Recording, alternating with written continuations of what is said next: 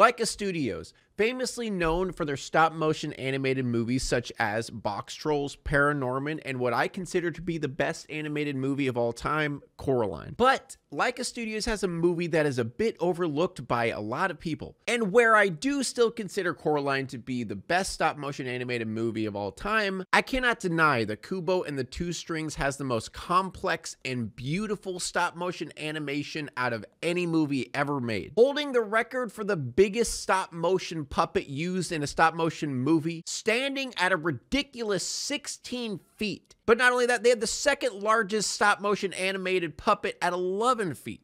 Not to mention, they used over a 100,000 real leaves to make an actual boat. And they even used a combination of practical effects with CG to create an ocean that looks somewhat like stop motion. The amount of detail and the crazy lengths they go to to make this movie this beautiful is insane. And there isn't really a lot of action in this movie, but the choreography between Monkey and the sister is some of the cleanest fighting I've seen out of stop motion. This movie actually did worse than any Laika film ever. It flopped so hard, and I don't know why. It could have been the promotion or it could have been something else, but from what I've seen, it kind of is just people just not caring about the movie. And I'm here to tell you right now, you need to watch Kubo and the Two String. Now, we talked about the visuals. Let's talk about the story a little bit. This is where a lot of people are kind of mixed reviews on is the story. Now, me personally, I love the story. Now, sure, I don't think it's as good as Coraline, but the story is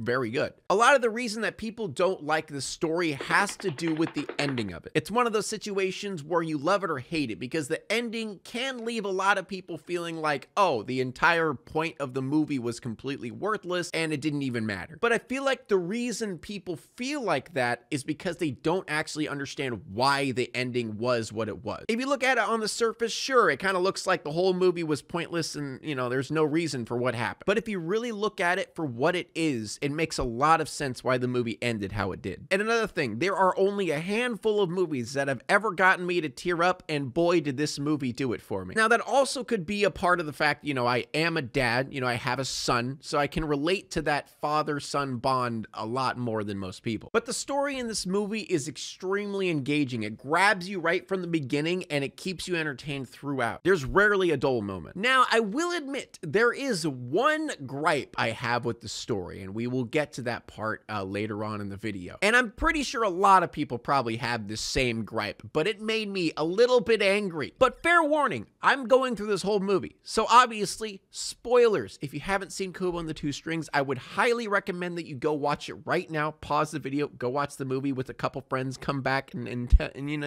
and then you'll know what's going on. Pig, pig, oh, you, you won't believe this, man.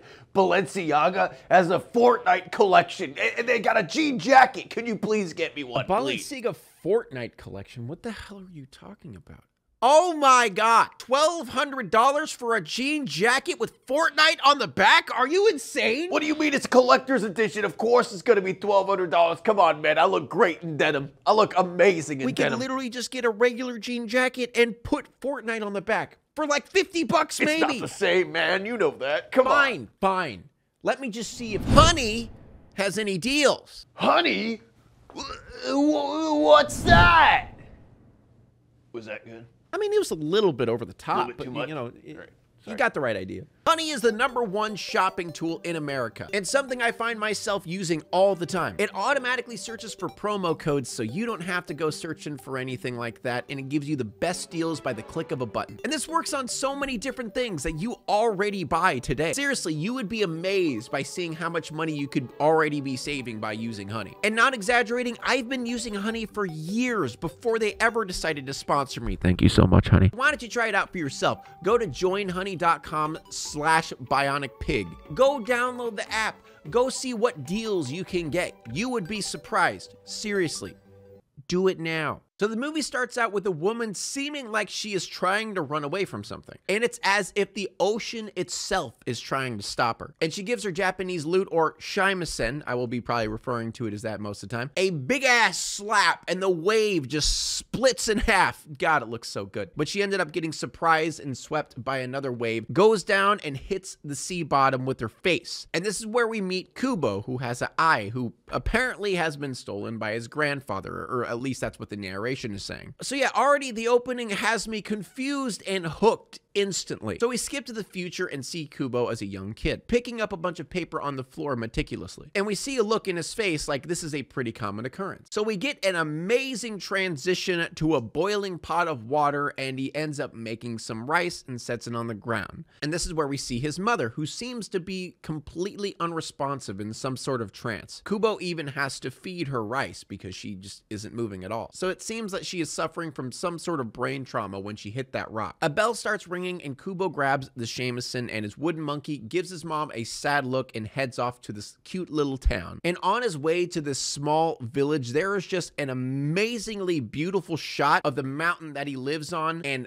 golden grass of an open field. It just looks so freaking good. It's hard to believe this stuff is stop motion. So we get to this small town bursting with life and meet this old lady who seems to be Kubo's friend. And we find out that Kubo is a street performer in this town and is a very popular one at that. And the reason he's popular is because he could literally use magic to take pieces of paper and fold them in an origami fashion and make an entire story out of it. And this story includes the great hero Hanzo, whose army was destroyed by the Moon King. So Hanzo tries to find these three different pieces of ancient armor, which is apparently the only way to defeat the Moon King. And just a small detail I want want to mention in this portion of the movie. Not only is like the origami fighting and all that different stuff in stop motion insane, but the fact that they even match his finger movements on the shamisen are extremely accurate. Like every hammer on, every pull off, every strum, it's so perfectly done. Like the amount of detail that goes into it. And right before he gets to the end of the story with the fight between Hanzo and the Moon Lord, the bell tolls and he stops doing his thing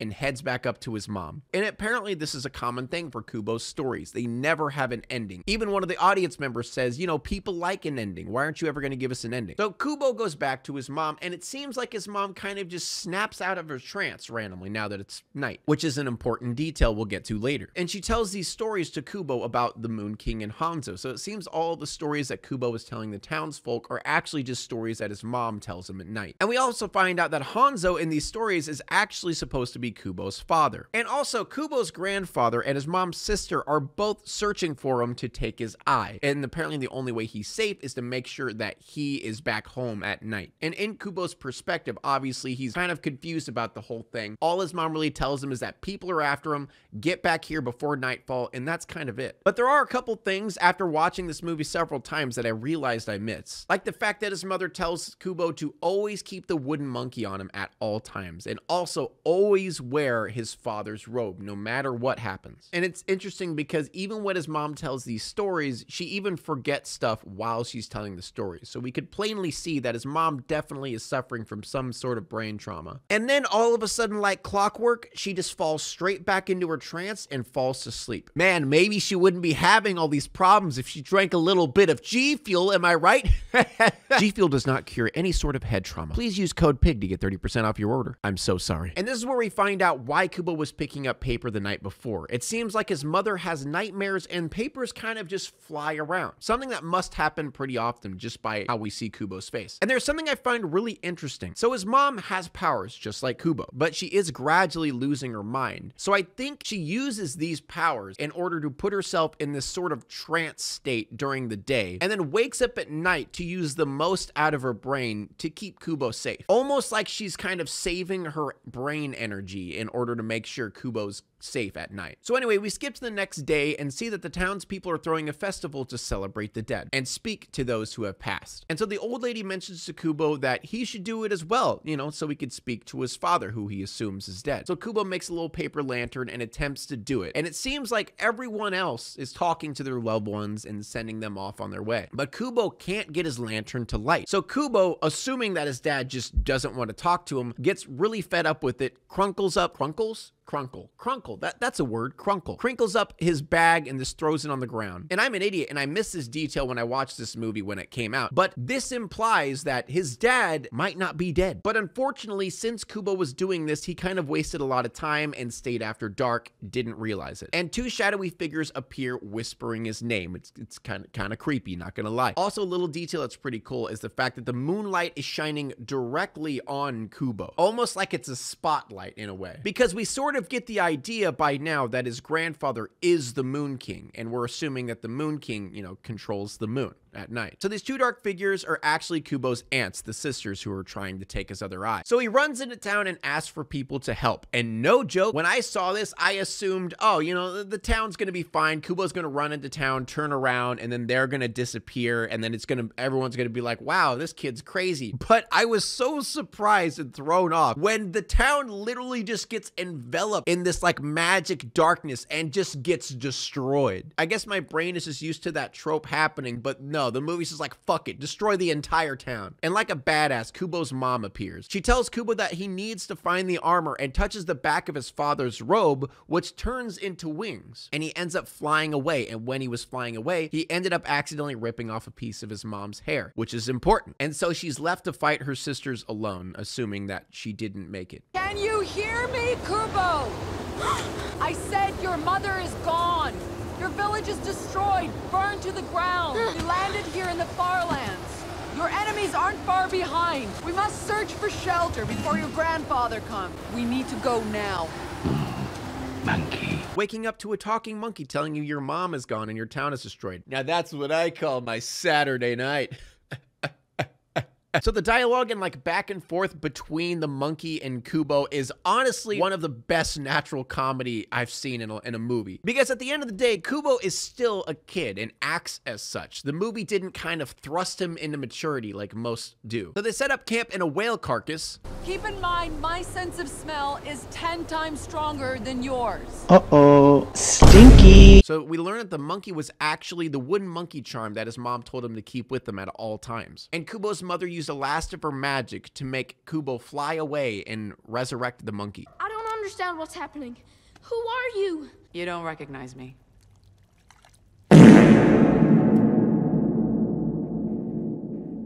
And the monkey seems to be very real and just upfront with Kubo. I'm here to protect you, Kubo. And that means you have to do as I say. So, if you don't eat, you'll be weak. If you're weak, you'll be slow. If you're slow, you'll die.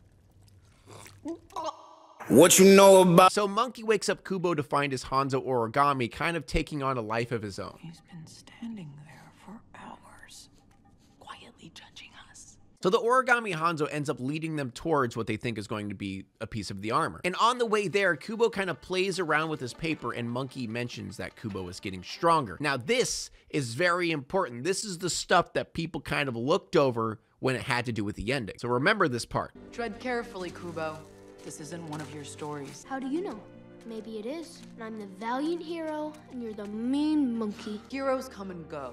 Any moment, something terrible could come out of nowhere, and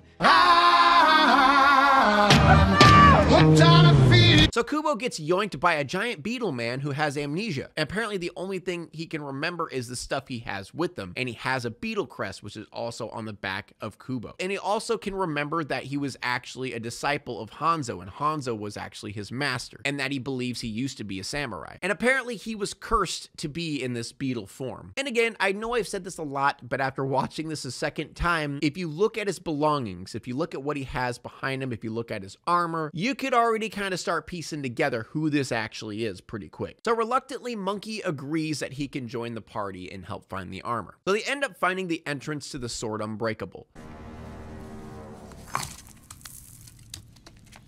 He did it.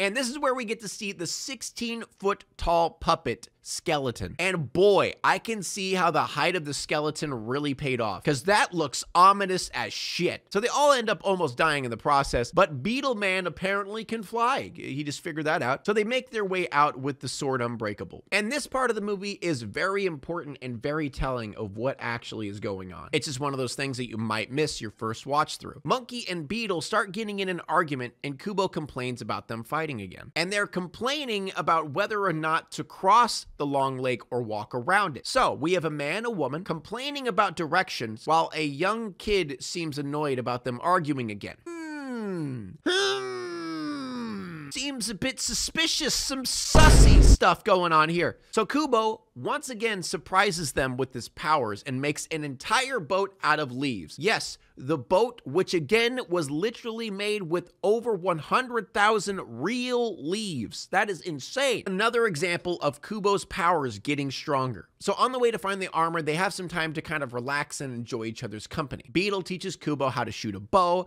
and they have a little bit of a dinner together. And Kubo mentions that he's never once had dinner in between two people. And we can even start to see Monkey and Beetle kind of having some flirtatious, interesting stuff going on. So they all start really enjoying each other's company and really, you know, feeling like a group. And boy, does that make it a lot more depressing once we figure out who they actually are. So apparently the armor is in the Garden of Eyes. So Beetle goes in by himself because apparently these eyes, if you look into them, they show you secrets of your soul and they keep you down there and you would die. So a lot of time passes and Kubo obviously gets pretty concerned. So he jumps in after him. And as Monkey goes in to help, boom, one of the sisters arrive to stop her. And all the while they start fighting, Kubo ends up finding the armor, but ends up getting caught by the Garden of Eyes, which I just want to mention is the second largest stop motion puppet, standing at a rousing 11 foot. Mmm. And goddamn it, it looks so cool. And what comes next is one of the coolest stop motion fights I've seen between Monkey and one of the sisters. And throughout this beautiful fight, the sister kind of starts wallowing about the loss of her sister and how her sister ended up leaving their family for a disgusting human man. And she mentions that made her sister weak. And then Monkey says one of the coolest lines in the movie, and it gave me chills then, and it still gives me chills now. And love made her weak. No. Made me stronger.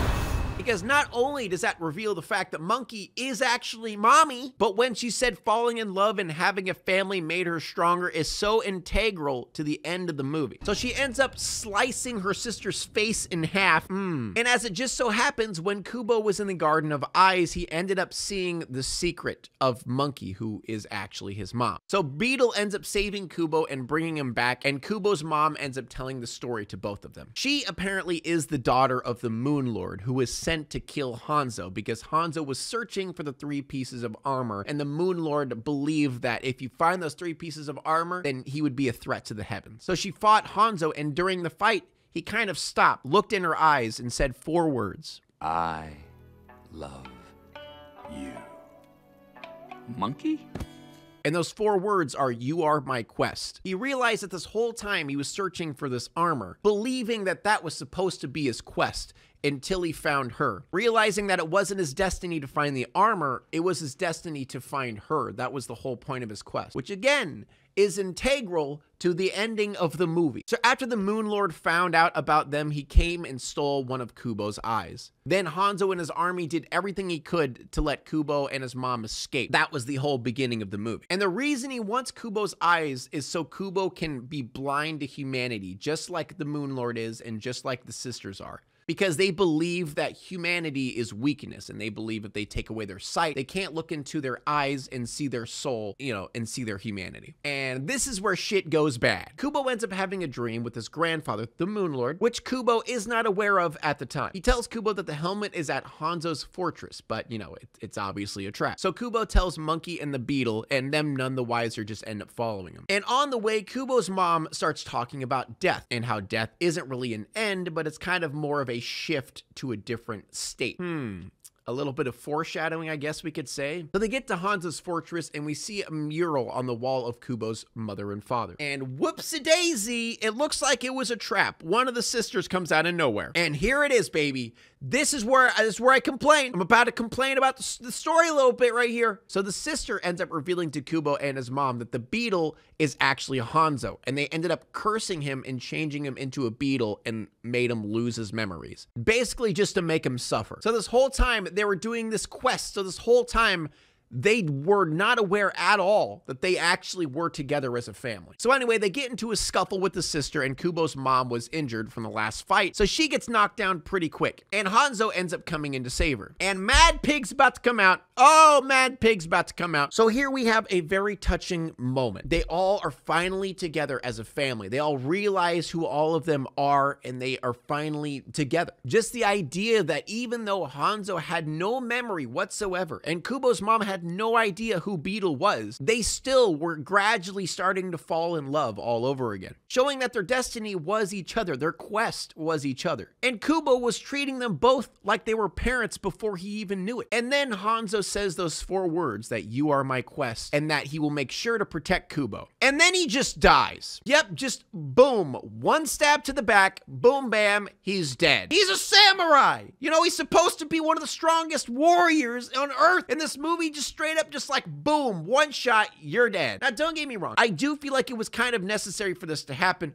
but at least have him fight. You know, at least have him do some samurai shit. He, he didn't do anything all movie, but you're just gonna stab him in the back and that's it? Are you serious? Oh, I'm sorry. Oh, uh, I'm sorry, I'm stressed. But yes, that's my one complaint about this movie is his just random ass death. So anyway, Kubo grabs his shamisen and breaks all of the strings, and apparently with that power, he literally ends up killing the sister, showing that he has gotten very strong. Throughout this quest of finding all the armor, he's gotten insanely strong. But unfortunately, his mom's magic seemed to have ran out and she ends up disappearing. So yeah, both parents are dead. That's kind of sad. So Kubo ends up flying back to his village, pretty pissed off, and finds that the helmet was actually hanging in the village the whole time. So he ends up getting all three pieces to this ancient armor, and then the Moon Lord appears. And this is also very interesting. So, before Kubo flies back to the village, his mom tells him, fly home. And the Moon Lord even says, your mom had a reason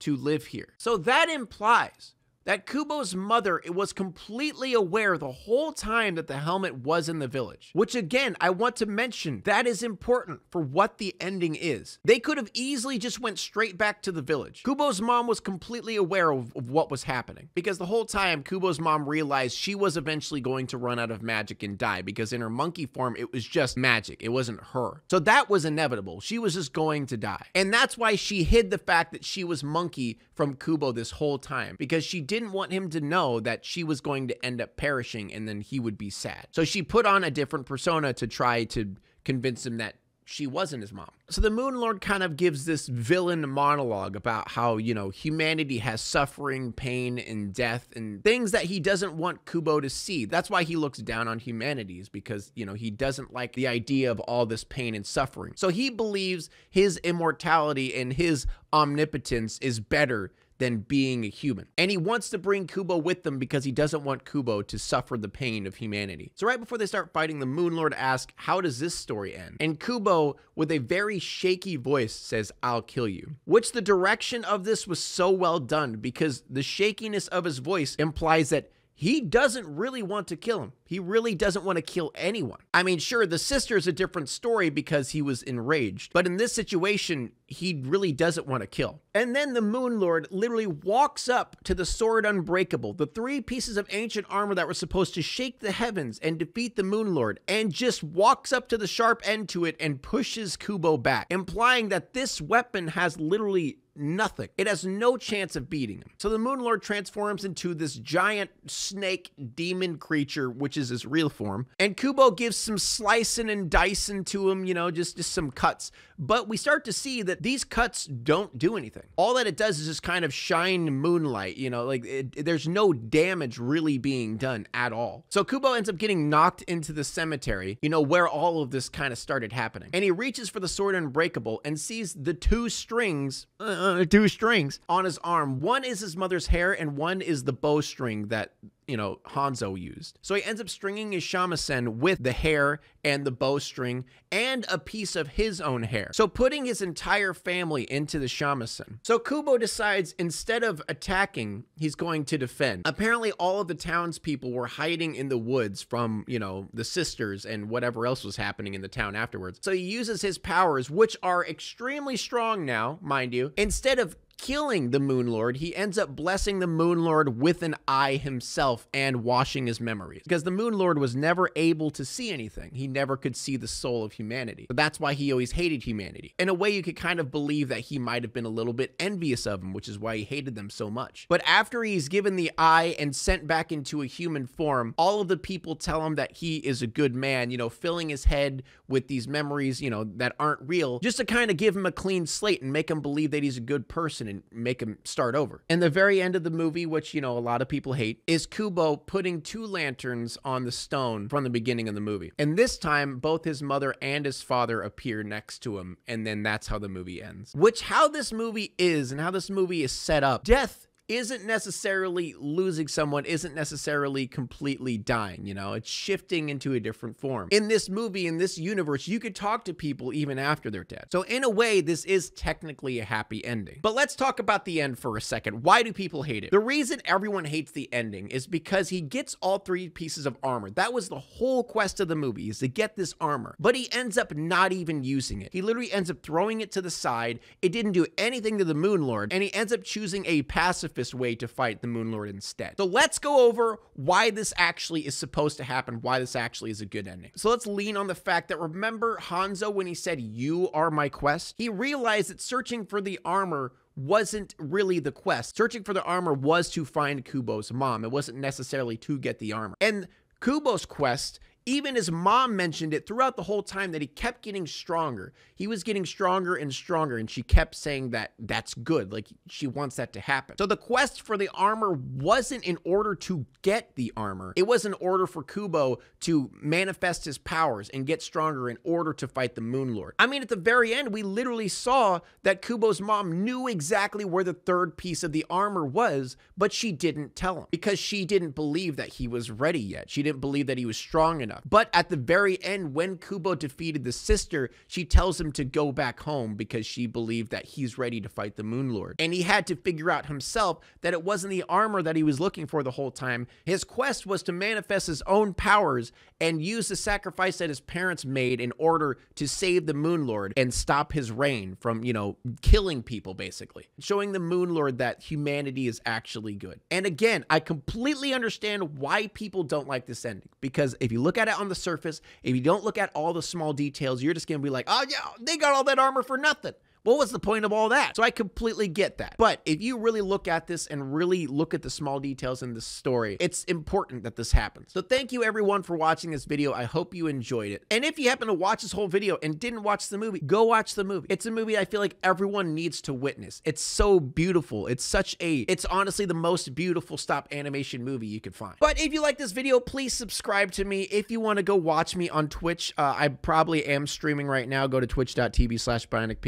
Also follow me on Twitter. It's Bionic Pig YT. You just, just switch the letters around. No, it's not. It's not switching the letters around. What am I talking about? My brain is great. But yes. Bye.